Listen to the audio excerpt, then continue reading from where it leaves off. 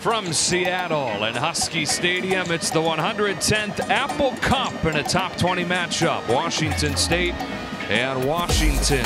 The Apple Cup is always a great rivalry, always a fun one, but a lot of meaning attached to this one. Second and goal. Here comes Gaskin for a Washington touchdown. 11 play drive to start the score in Seattle. And that was just physical domination. Ron Coleman spins off of Moulton's tackle. Coverage and picked off.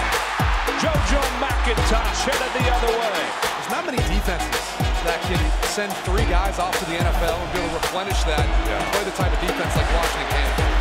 And that was in every phase of thorough beatdown. Accelerates. Myles Gaskin leaping for the end zone. And the rout is on in the Apple Cup.